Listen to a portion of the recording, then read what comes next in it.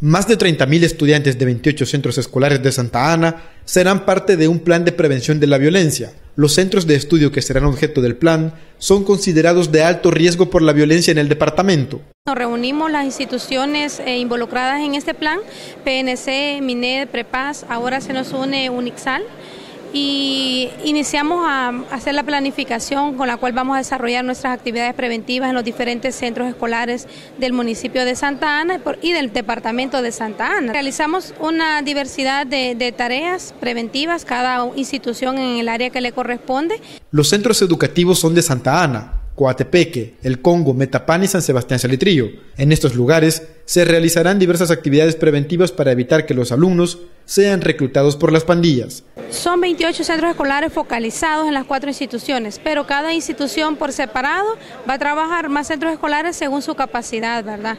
Para el caso nosotros como policías estamos cubriendo 156 centros escolares a nivel de todo el departamento, pero los focalizados, los de mayor prioridad, son 28 centros educativos. El nuevo plan de prevención es liderado por el Ministerio de Educación, con el concurso de Prepaz e iglesias evangélicas. El objetivo fundamental es trabajar sobre la prevención a través de estos proyectos tan importantes que nos van a permitir que nuestros jóvenes, nuestros estudiantes, pues se alejen de todas aquellas cosas negativas y puedan aprovechar más sus espacios, su tiempo eh, en cuestiones positivas. Este plan conjunto, de acuerdo a los firmantes, ha dado resultados positivos. Desde el segundo año en que se ejecuta, se unió Prepaz.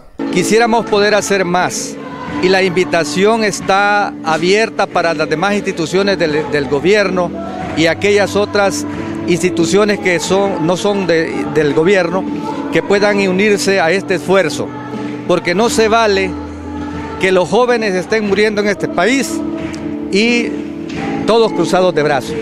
El programa de prevención de la violencia se impulsa desde 2010 y se destacan niveles de reducción de violencia juvenil.